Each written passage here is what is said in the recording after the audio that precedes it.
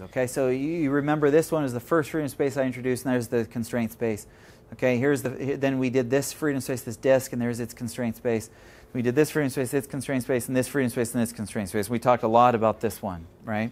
This is all those last examples we did and everything, and the subconstraint space we did from this.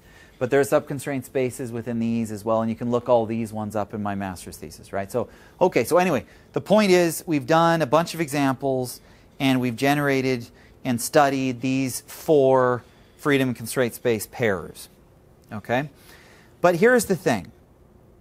Um, this is all fine and good, and you can see this is kind of exciting. You can show freedom spaces for a mechanism, you can show constraint spaces to show how they're designed. But problem is, is there's infinite designs out there. I mean, I could, you know, th this was one I gave you to generate this one, this freedom constraint space up at the top here, right? But what if I gave you this one you know, and stuck in these four sticks in random ways uh, that are not 90 degree angles and told you to find its freedom constraint space. Well, you could. You could draw the blue lines, then you could draw all the red lines intersect all those blue lines, then find all the blue lines intersect all the red lines, and you find its complementary freedom constraint space. And vice versa, you could do this one, and maybe you go home and do this. You know, draw the blue lines and find all the red lines intersected, then find all the blue lines intersect that. Blah blah blah. You, you find the freedom constraint space of this.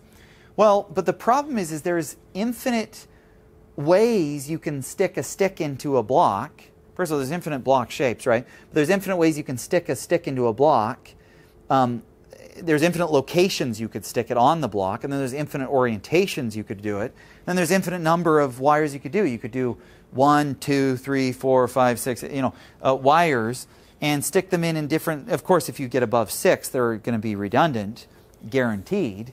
Um, right? So, so, but still, there's, you know, you can do six different wires, you know, one, two, three, four, five, or six, and you can stick them in at any location, in any shape, stage, in any orientation. So you could do this for an eternity and find their complementary freedom constraint space.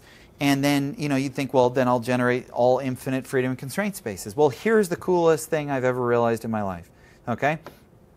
Which is that even though there's an infinite number of examples that you'd think could generate an infinite number of freedom constraint space, there's just a finite number of freedom and constraint spaces, okay? And it turns out they're all within this chart.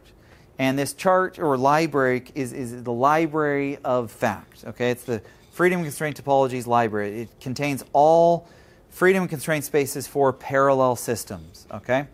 And that, that's the one little hitch. This is just true for parallel systems, but there's a, another one for serial and hybrid systems that, that you'll learn shortly here. But uh, anyway, this is the complete comprehensive FACT library of all freedom constraint spaces. Okay, so I could you know give you infinite numbers of these examples, and if you go through the exercise of finding their freedom constraint spaces, they will all be in this chart. There's no other ones outside this chart.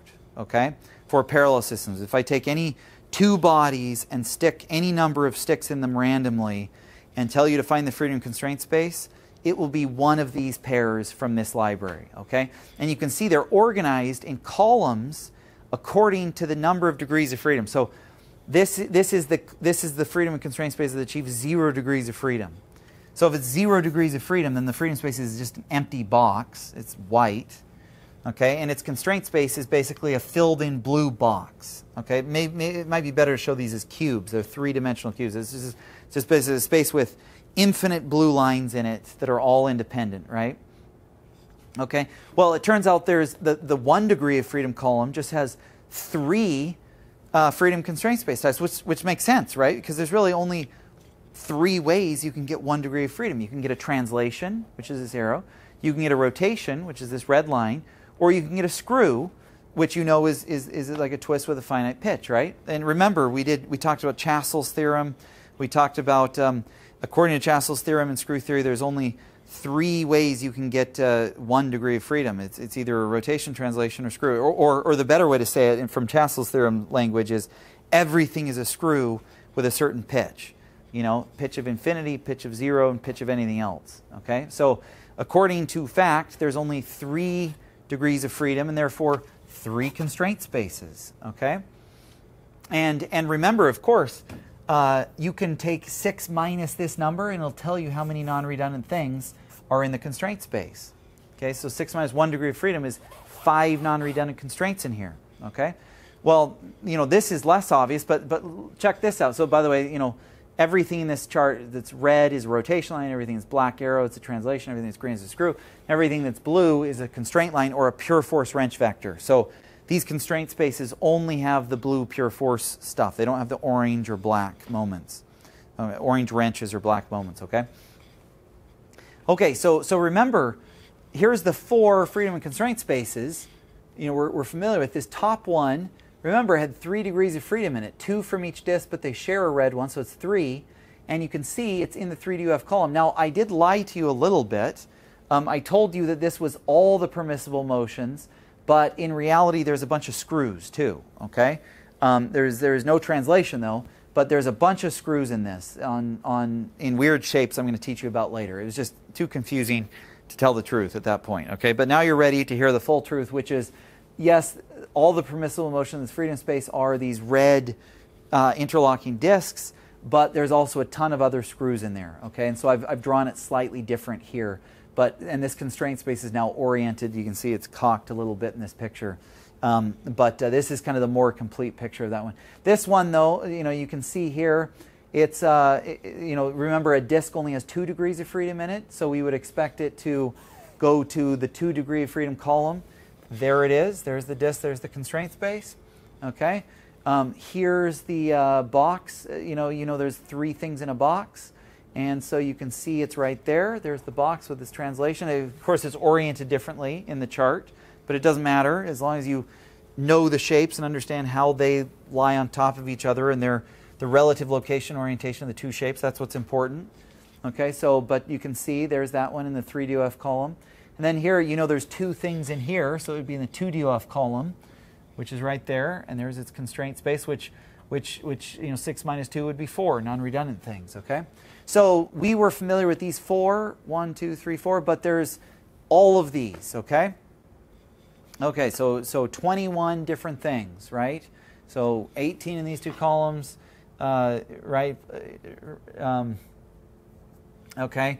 Uh, you know, plus 6 from those, plus, plus 2, okay?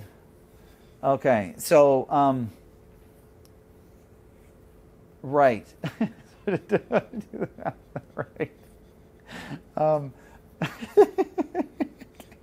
so apparently it's too late at night. I can't add uh, 18 plus 12 plus 2. Whatever that is, is how many freedom constraint space types there are. Okay? So, so so, so, but anyway, there's nine within the 2DOF column, and there's nine within the 3DOF column, and then there's uh, three within the 4DOF column, and one within the 5DOF column.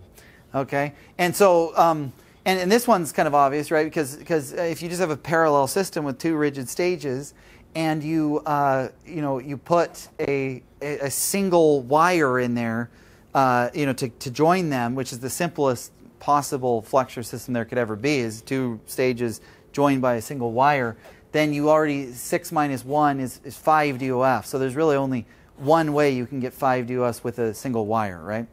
Okay. And so, so anyway, you can see the symmetry here in this, in this chart. There's only one type with 0 DOF, and there's only one type with 5 DOF. There's three types with 1 DOF and three types with 4 DOF. And then there's nine types with 3 DOF and nine types with 2 DOF, okay? I'm still laughing that I can't add that together right now. So, so, so anyway, um, that is that is the FACT chart, okay? And you can see this is complete with all the twists and screws and and uh, rotations and translations. Okay, um, and so all so basically the the amazing thing is is everything I've taught you is contained in this chart. Okay, so Pretend you have a horrible, pretend you can't visualize degrees of freedom. Don't worry about it. Pretend you can't do rule of complement pattern. Don't worry about it. Pretend you can't, uh, you know, you didn't understand any of the math. Don't worry about it. Pretend you don't even know Max, James Clerk's Maxwell's equation. Doesn't matter. It's all, every solution is in here. This will make your life super easy. And if you know how to follow this chart, and it tells you how many degrees of freedom, how many constraints are in each shape, and which one's linked to what. Okay? So um, this makes your life super, super easy knowing this chart. Okay? Okay, so Okay, so, so let's do some examples of the FACT design approach. All right. Okay, so, so but, but first, before we do that, let's look at um, let's let's look at the constraint space of just a single red rotation line. Okay, so say uh, you wanted to get a single rotation. okay, so um, to get just a single rotation, what you do is you need to find uh, every single blue line uh, that intersects that red line somewhere at least once. I can't even do this.